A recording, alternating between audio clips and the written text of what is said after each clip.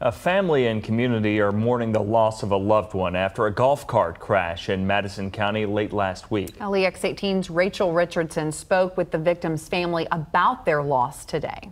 Yeah, I did speak with the family of Austin Short, who passed away on Tuesday, days after the accident at just 23 years old. This all happened in Madison County at Dodd Road and Cruz Lane. Reports say that early Saturday morning, just before 2 a.m., six people were riding riding on a four seater cart when the driver lost control. Two people, including Austin, were taken to UK hospital with life threatening injuries. People have been sharing their good memories and condolences with the family this week.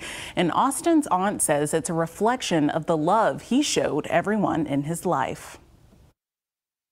Austin just loved everybody. He was a very decent, kind person, and we need to give grace to the other ones that was with him. There was a, you know, he was part of six kids, you know. Later tonight, I'll have more from Austin's family who shares more of who he was as a person and as a friend. And I also spoke with one of his friends who's working to plan a big event in his honor, and that's coming up tonight at 7.